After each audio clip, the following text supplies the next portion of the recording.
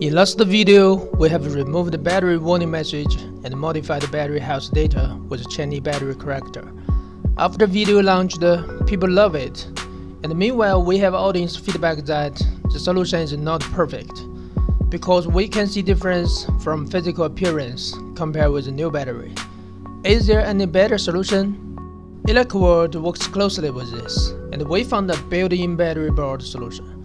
Compared with the earlier external battery board, it can recover battery appearance like brand new, and works on both iPhone 11 and 12 series, but it also requires higher repair skills.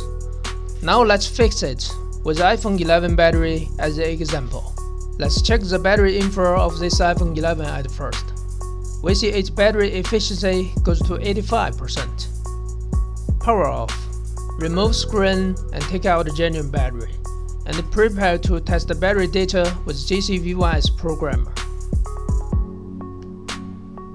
Before that, we need to assure JCV1S has the latest system version, otherwise we can't read and write battery data. Connect JCV1S with the computer, open JC Repair Assistant and upgrade it. We can see it's in upgrading now. Wait a moment and then it will get completed. After system upgradation, let's test the battery data with JCV1S programmer.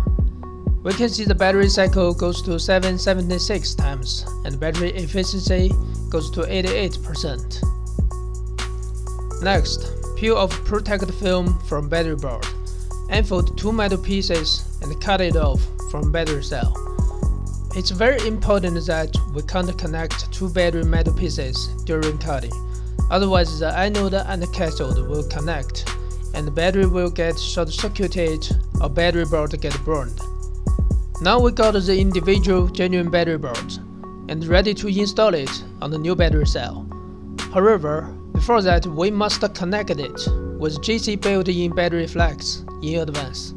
There are 6 solder joints of JC built-in battery flex. We locate 6 solder joints on genuine battery board accordingly. There are inductance above solder joints, so we use hot air gun and blade to remove them. Apply solder paste and clean four solder joints out with solder iron. Apply solder paste again, revolve the tin back and brush with PCB cleaner.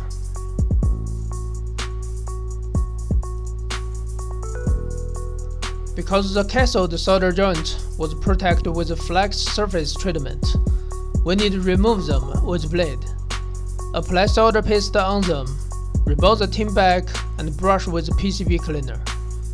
Reverse the flex, and we proceed the same procedure with the anode solder joint. Take it off from fixture. Now we completed the repair of genuine board. Here there are 6 solder joints with tin ball.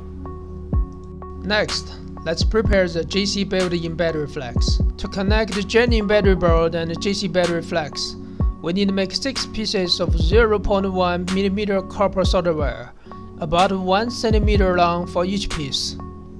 Then we apply solder paste on 6 solder joints and plant tin ball for later jumper wire.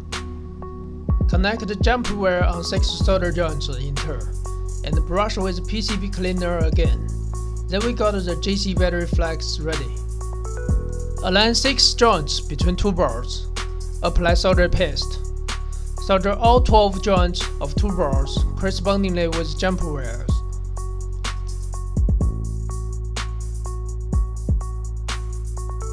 Clean all solder joints and check if there are cross between jumper wires.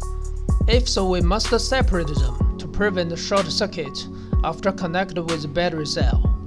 Compared with genuine battery cell, just like what we show in the video, please make sure the anode and cathode are in correct position. While the new board assembly and battery cell with portable spot welder, and apply high temperature resistant tape before bending two boards together. This is very critical to prevent the solder joint disconnect or get short circuit during bending.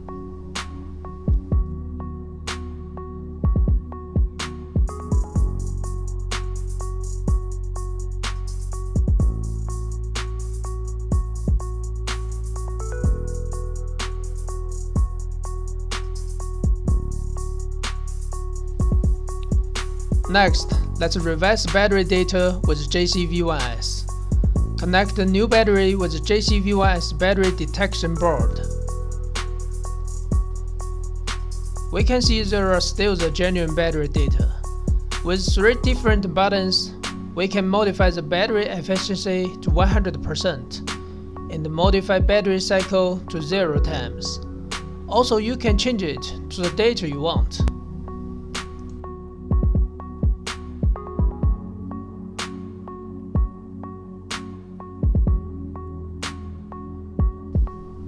Now it's a key point step.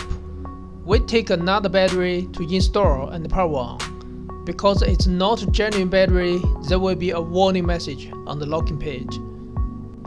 Also we will find the warning message in battery health, and it won't show maximum capacity. The reason for this step is for activating phone to restore the phone data.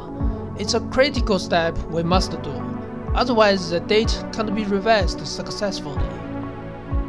After activating phone, let's install the new battery which has installed JC built-in battery flex. This time we see the warning message pop out, but disappear immediately. This means the iOS has recognized the new battery as genuine battery. Enter setting battery health, we see no warning message. Also battery efficiency goes to 100%. At last, let's connect phone with computer. Open 3uTools in computer and test the phone data. We can see battery efficiency goes to 100% and charging time goes to 0, just as we modified. Here is a very interesting question. What will happen if we just modify battery data without changing battery cell? Please leave your comment and subscribe our channel for more tech video updates.